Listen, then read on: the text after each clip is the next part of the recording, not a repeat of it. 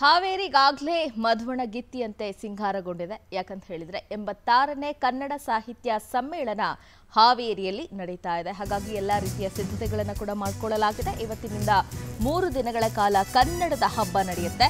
ನುಡಿ ಜಾತ್ರೆಗೆ ಮಧುವಣ ಗಿತ್ತಿಯಂತೆ ಈಗಾಗಲೇ ಹಾವೇರಿ ಸಿಂಗಾರಗೊಂಡಿದೆ. ಬೆಳಿಗ್ಗೆ ಹನ್ನೊಂದು ಗಂಟೆಗೆ ಸಿಎಂ ಬಸವರಾಜ ಬೊಮ್ಮಾಯಿ ಅವರು ಸಮ್ಮೇಳನಕ್ಕೆ ಚಾಲನೆಯನ್ನ ನೀಡಲಿದ್ದಾರೆ. ಇನ್ನು ಚಾಲನೆಗೂ ಮುನ್ನ ಧ್ವಜಾರೋಹಣವನ್ನ ಸಚಿವ ಶಿವರಾಮ ಹೆಬ್ಬಾರ್ ಅವರು ನೆರವೇರಿಸಿದ್ದಾರೆ. ಸಾಹಿತ್ಯ ಪರಿಷತ್ನ ಧ್ವಜಾರೋಹಣವನ್ನು ಕಾಸಪ್ಪ ಅಧ್ಯಕ್ಷ ಮಹೇಶ್ ಜೋಶಿ ಅವರು ಮಾಡಿದ್ದಾರೆ. ಕನ್ನಡ ಧ್ವಜಾರೋಹಣ ಮಾಡಿದ್ದಾರೆ ಜಿಲ್ಲಾಧ್ಯಕ್ಷ ಲಿಂಗಯ್ಯ ಹಿರೇಮಠ ಅವರು. ಏಕಕಾಲಕ್ಕೆ ಮೂರು ಧ್ವಜಗಳನ್ನು ಅಲ್ಲಿ ಆರೋಹಣ ಮಾಡಿದ್ದಾರೆ ಗಣ್ಯರು. ಪುರಸಿದ್ದೇಶ್ವರ ಗುಡಿಯಿಂದ ಸಮ್ಮೇಳನಾಧ್ಯಕ್ಷರ ಭವ್ಯ ಮೆರವಣಿಗೆ ಕೂಡ ನಡೆಯಲಿದೆ. ಈಗಾಗಲೇ ಹಾವೇರಿ ಮಧುವಣಗಿತ್ತಿಯಂತೆ ಸಿಂಗಾರಗೊಂಡಿದ್ದ ಎಲ್ಲ ರೀತಿ ಈ ಸ್ಮಾರ್ಟ್ ಫೋನ್ ಯುಗದಲ್ಲೂ ಇವರು ಫೋಟೋ ಸ್ಟುಡಿಯೋ ಮಾಡಿ ವರ್ಷಕ್ಕೆ ಮೂವತ್ತು ಲಕ್ಷ ಲಾಭ ಮಾಡ್ತಿದ್ದಾರೆ. ನೀವು ಮಾಡಬೇಕಾ? ಅವರಿಂದ ಕಲಿಬೇಕಾ?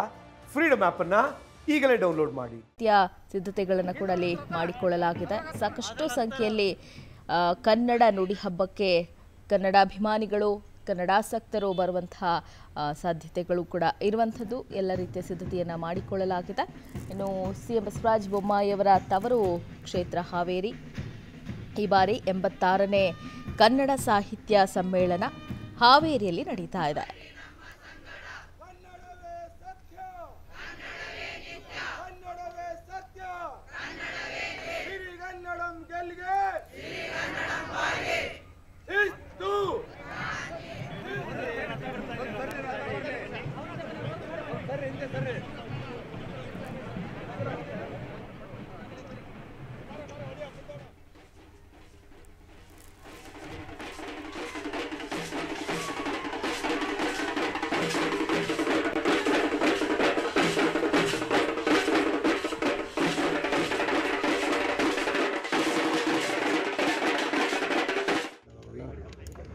ನಾವೆಲ್ಲರೂ ಸೇರಿ ಭಾಳ ಸಂತೋಷದಿಂದ ಇವತ್ತು ಬೆಳಿಗ್ಗೆ ಏಳು ಗಂಟೆಗೆ ಸರಿಯಾಗಿ ಉದ್ಘಾಟನೆ ಮಾಡಿದ್ದೇವೆ.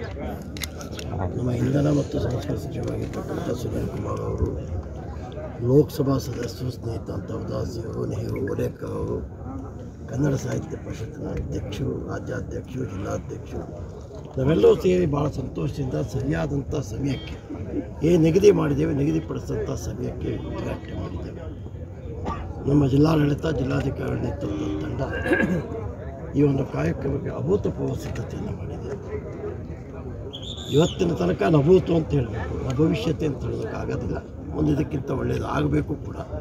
ಆದರೆ ಹಾವೇರಿಯ ನೆಲದಲ್ಲಿ ಆಗಿರ್ತಕ್ಕಂಥ ಈ ಒಂದು ಕನ್ನಡ ಸಾಹಿತ್ಯ ಸಾಹಿತ್ಯಾಸಕ್ತರಿಗೆ ಕನ್ನಡಿಗರಿಗೆ ನೆನಪಿನ ಅಂಗಳದಲ್ಲಿರ್ತಕ್ಕಂಥ ಸಮಯ ಆಗಬೇಕು ಅಂತಕ್ಕಂಥದ್ದು ಬಯಕೆ ಈ ಸ್ಮಾರ್ಟ್ ಫೋನ್ ಯುಗದಲ್ಲೂ ಇವರು ಫೋಟೋ ಸ್ಟುಡಿಯೋ ಮಾಡಿ ವರ್ಷಕ್ಕೆ ಮೂವತ್ತು ಲಕ್ಷ ಲಾಭ ಮಾಡ್ತಿದ್ದಾರೆ. ನೀವು ಮಾಡಬೇಕಾ? ಅವರಿಂದ ಕಲಿಬೇಕಾ? ಫ್ರೀಡಮ್ ಆ್ಯಪನ್ನು ಈಗಲೇ ಡೌನ್ಲೋಡ್ ಮಾಡಿ.